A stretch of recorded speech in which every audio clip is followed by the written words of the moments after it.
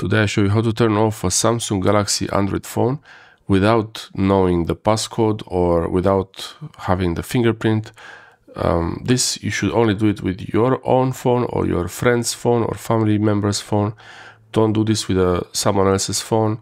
You, if you find the phone somewhere, you should actually power it on and connect it to the Wi-Fi. So I'll show you. Make sure it's connected to Wi-Fi and mobile data if you find the phone. So if you did find the phone now, check that Wi-Fi is on, mobile data is on, so that the owner of the phone can actually contact you to get their phone back if they lost the phone. But if it's your phone or your friend's phone, then this video is for you. So to turn off the phone without actually having the passcode, you see, this is the pin requirement. It needs the pin. Even it will not work with fingerprint now because it's it was just restarted. So to restart, to shut down the phone, if you're going in a plane and your friend's phone is in your bag somehow and the flight attendant is telling you to turn off the phone and you don't have the passcode or the fingerprint, then it's easy. You can swipe down from the top here. It's really easy. You can swipe down from the top. So you don't have the passcode. The phone is locked here as you see. And all you have to do is swipe down from the top to pull down the quick settings menu. So when you have here in the quick settings menu, you can check the Wi-Fi mobile data, but it doesn't really matter if you turn off the phone. So if you need to turn off the phone now, you press this button here. That's the power button. It's a virtual power button like on your computer or on your laptop. Uh, once you press that, you get this the power menu. So I'll show you one more time. Swipe down from the top, show the quick settings, press the virtual power button, and from here you can do power off. There is also the option you can you can actually use the power button of the phone. You can actually use the power button of the phone to show the power menu or the volume down and power button. So let's try volume down and power button at the same time. Long press and that's it, the power menu here.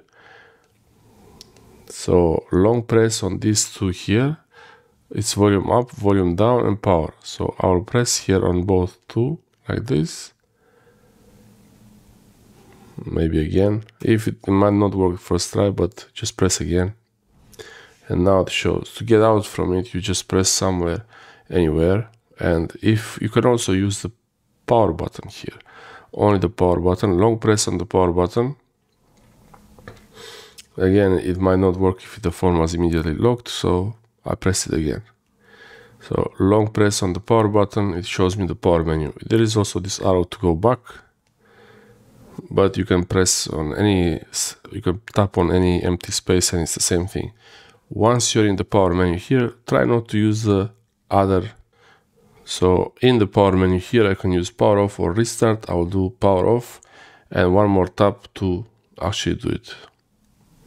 It's interesting. Now this one is asking me for the pin to turn off the phone I guess for a restart it should not ask for the pin.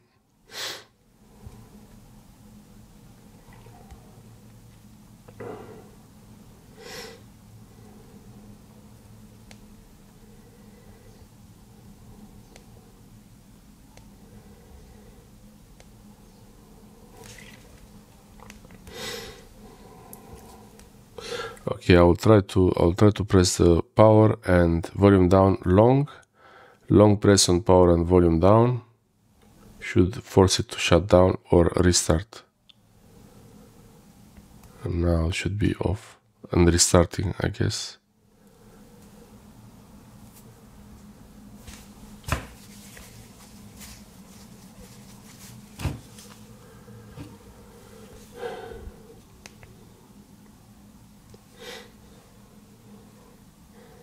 So it is restarting I guess you could could call this video uh, how to restart the phone without the power. I guess you could call this video how to restart. Uh,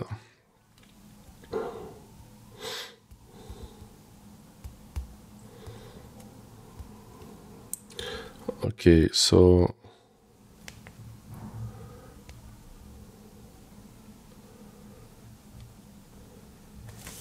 Okay, the phone, now I restarted the phone I restarted the phone because it didn't let me do a power off without having to enter the code because it was restarted and it could have been that someone else found it. So that's a great security feature. Thanks Samsung. And let's try now. So now I can use the fingerprint, but I want to try to do like this power off, power off, and it still asks for the pin or the fingerprint to turn off the phone.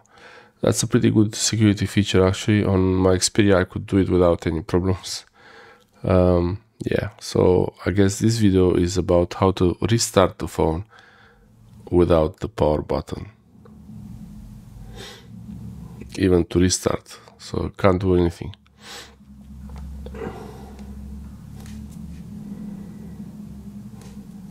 Let's try from here. Restart, no. But with the restart, it's still asking you for this, but with the restart you can you can to really force a restart, you press the power button and the volume down, and it will do the restart no matter. So I'm here in this menu and let's try manually and it's asking for the password or fingerprint. But if I long press and I keep pressing it, trying to take a screenshot, not really. So I press on them at the same time and I keep pressing and I keep pressing. I keep doing it. I keep pressing it and now it's restarted. So it's not about powering it off after all. Without the passcode you can't really power it off, looks like. But you can force restart with the volume down and power button. It's still something. I don't know if you're in a plane, you really have to get to whoever has the phone whoever has the passcode or fingerprint to turn off the phone. But you can set the airplane mode in the quick settings menu. If you are in the plane and you cannot power off the phone, you can always use the quick settings menu to turn the flight mode on. Or even for flight mode, it needs the pin. So, okay. To turn off Wi-Fi, everything you need for this. So I guess you have to just keep restarting it. I don't know what to do. This is uh, actually this is a good security feature. Okay, I entered the passcode and now let's try to lock the phone again. So it's it after restart the passcode was entered once and I will try to set the flight mode and it's asking for password again or fingerprint. So I guess it's much more difficult to power off a Samsung phone, but you can you can keep restarting it. This is if this is what you wanted. Thanks for watching.